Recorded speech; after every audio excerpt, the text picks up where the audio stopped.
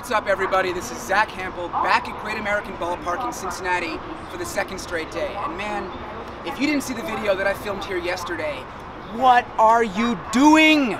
That was my 1500th consecutive game with at least one baseball. I got Ronald Acuna Jr. to sign a ball, which I'm giving away. So much other stuff happened. I got 17 balls yesterday, hoping for a ton more action today. Gorgeous weather. Both teams should be taking batting practice. Gonna try to catch a home run during the game. That's usually the goal. Have a few other things in the works, so let's get to it.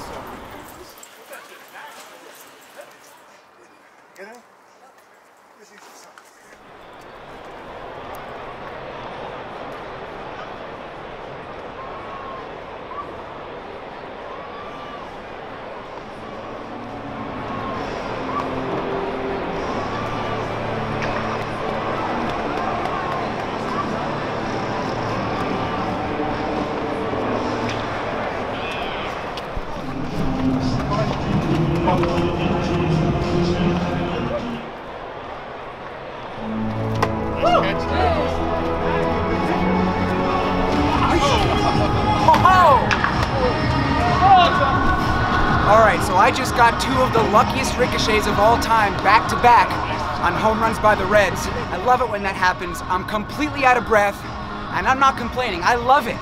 Free exercise, baby. So, five baseballs today. I got one right away, just like yesterday, the so-called Easter egg sitting in the front row for me. I'll actually show you later in this video, maybe when there's a break in the action, exactly where that baseball today was tucked, kind of in a little hidden spot. So, man, the Reds are really putting on a good show. Double digits, well, I'm halfway there. Want one? Thank you very much. Sure. Go in your stats notes.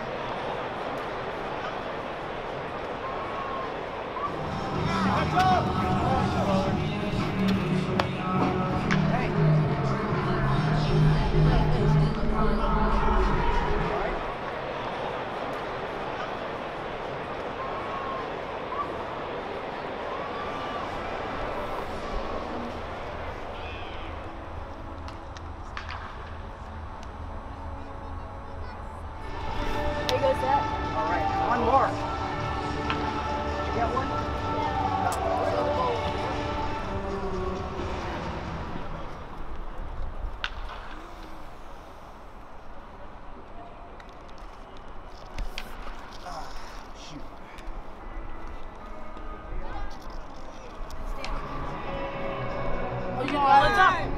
It's up. And he's got it. Yeah, baby! Thank you! You get the assist on that one. That guy was nice enough to leave the baseball on the warning track for me. I was fumbling around with it for a bit. So that is eight baseballs, and the Reds are still hitting. I am definitely getting double digits today for the second day in a row. Thank you. Barehanded!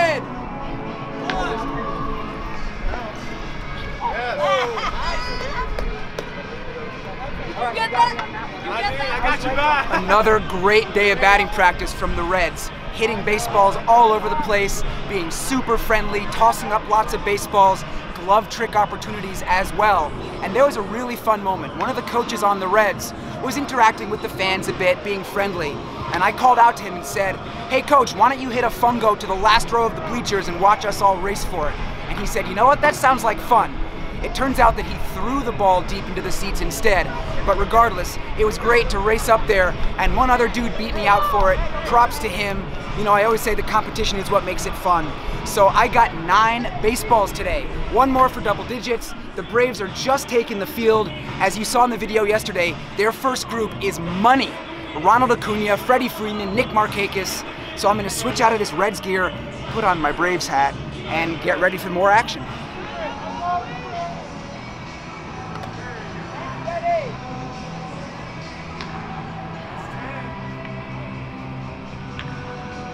Eddie Perez, who has been so friendly to me for the last two days.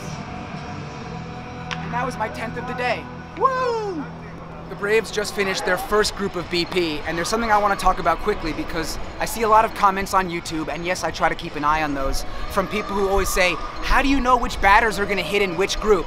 Well, the answer is that you go to a lot of games, you pay close attention, you remember, and the order in batting practice often mirrors the order of the batting lineup during the game. Now, based on what I saw yesterday, I expected to see more of the same today. But guess what? Freddie Freeman was not in that group. Nick Markakis was not in that group. Instead, Ozzie Albies hit. He was in a later group yesterday, and Brian McCann was taking some cuts. So, in a way, you never really know. Those were still good hitters, but they didn't put on nearly as good of a show as the first group yesterday. So, I just got that one toss up from Eddie Perez, then he ground rule double at the wall, and that's it. So, I'm not going to complain about getting two balls in one group, but it still could have been a lot better. So, 11 so far today.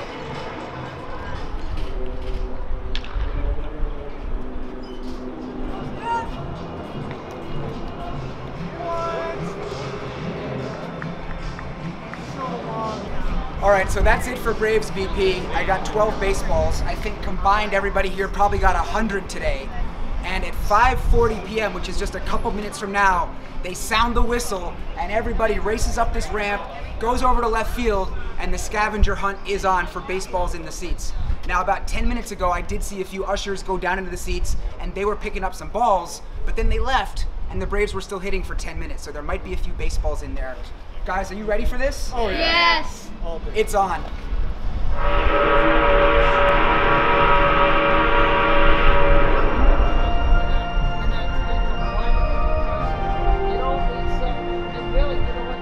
More Easter eggs for me today in left field.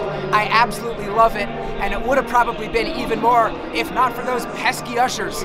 But still, really glad to have gotten those. I headed up to the second deck briefly to look for more up there because Yasiel Puig was blasting baseballs about 450 feet from home plate. You never know where baseballs might be lurking, but there was nothing waiting for me up there. So, 15 baseballs total today plus the 17 from yesterday, 32 balls in two days. I love this place so much. And listen, of course, I always want to know who hits the balls, who throws the balls. I don't always know. All those ground rule doubles and home runs today, I have no idea. But I do know that my 12th ball was thrown by Braves pitcher Bryce Wilson. And check out this one. During Reds BP, I got one of those 150th anniversary commemorative balls. The Reds, of course, were the Red Stockings. They became a franchise in 1869, and the Reds are using these baseballs during games for the entire season. And every now and then, you might get lucky and find one during BP. I am in such a good mood right now, and you know what I want to do as a result? I want to talk to you guys quickly about SeatGeek. They've sponsored a bunch of videos in the past. They're sponsoring this one as well. So for those who still don't know, SeatGeek is an app that gathers tickets from all over the internet into one spot to make it really easy to buy them. They put little colored dots on the seating chart so you can tell right away how good of a deal you're getting. Very user friendly. Now here's how they're hooking it up check the description for this video, okay?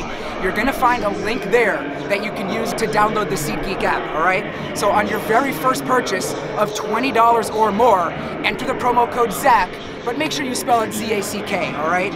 And you will get a $10 discount from SeatGeek. Huge savings, great deal. So many people have told me throughout the last few seasons that they've taken advantage and saved money. And it's not just Reds games, it's not just baseball games, it's all sporting events, it's concerts, it's comedy. Anytime that you can buy a ticket, definitely look at SeatGeek first. All right, now check this out.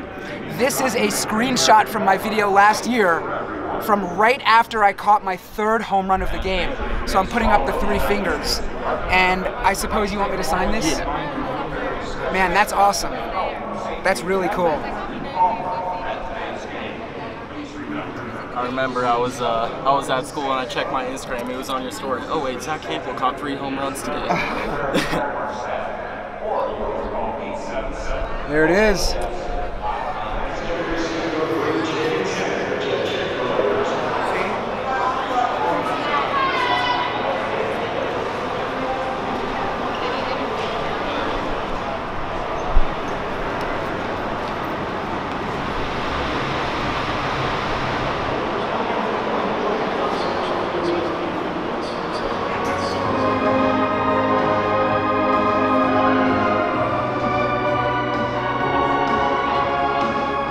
Always special to get to check out the suite level at a major league stadium. Something I haven't gotten to do that often. I've showed it in a few videos, and here we go with the Reds. This is what one of their suites looks like, perched high along the left field foul line.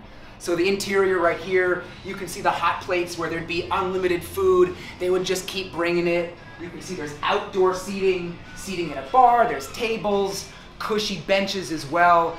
You got the whole kitchen area, just beautiful artwork on the wall, the big TV where you can watch the game up there, as well as, of course, with your own eyeballs looking at the field.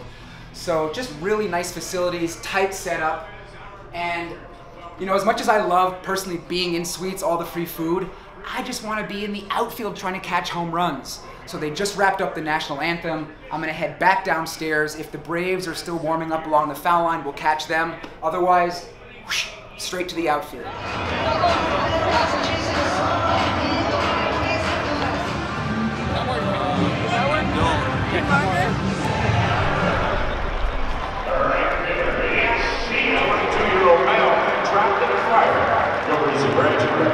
This game started with a bang. Ozzie Albies, leading off for the Braves, hit a solo home run down the right field line. So out here in left field, I had no play on that, but it's always nice to see the baseballs fly. And then the Reds answered with a run in the bottom of the frame. So right now, top of the second inning, it's one to one. And guys, check this out. This is my ticket from today's game. I barely got Charlie Culberson to sign it right before the game started. Yesterday, of course, I got the Acuna autograph on a baseball to give away as an Instagram prize, so I won't be keeping that one. Normally, I like to get my autographs on tickets, and if you missed it, I did four long videos over the off season showing my ticket stub collection. More than a thousand autographs, so search for that on YouTube. And right now, I still have an entire empty row in that direction. It's a little bit crowded on that side, so hey guys, hit, hit baseballs on this side, okay? Thanks, appreciate it.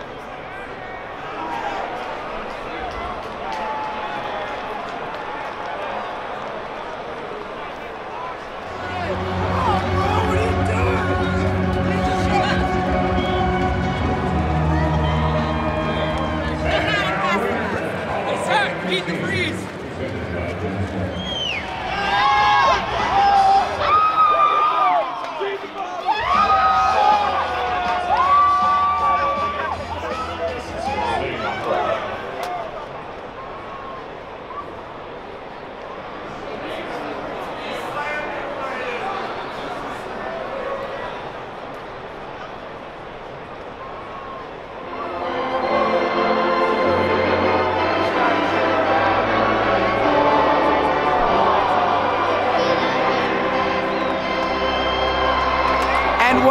perfect time to give you guys a scoreboard update.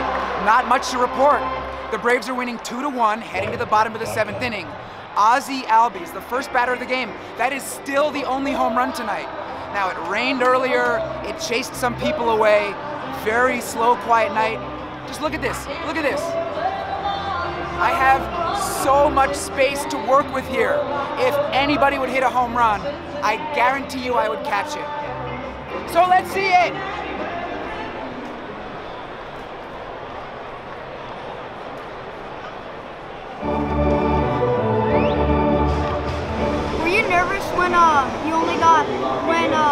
When I entered at game time, Yeah. I was so nervous. But I figured if I got shut out, it would be good content for YouTube, right? Yeah. I saw when you got that that song by Mike Trout. That'll be coming in the Yeah. next video. You'll actually see the Oh, oh, oh really? Yeah. Let's go. Let's go! Yeah. Let's go! It's a final. The Braves won this game by the score of 3 to 1. And I hate to say it, but this game was kind of unremarkable. Neither starting pitcher went past the sixth inning, and yet there were only two extra base hits. None for the Reds. That leadoff home run by Albies was the only long ball of the night. So even though I had all kinds of space out here in left field, luck just was not on my side. No opportunities. But early on, during batting practice, there were tons of opportunities. I got 12 baseballs during BP, three Easter eggs after BP, and okay, a couple things about that. I mentioned that I was going to show you that secret space where the baseball was hiding early on. Well, here's a little reenactment of what it looked like when I grabbed it. There's a little gutter underneath the chairs in the front row, and that baseball was waiting for me when I ran inside. Now, the 15 baseballs bring my lifetime total to 10,757.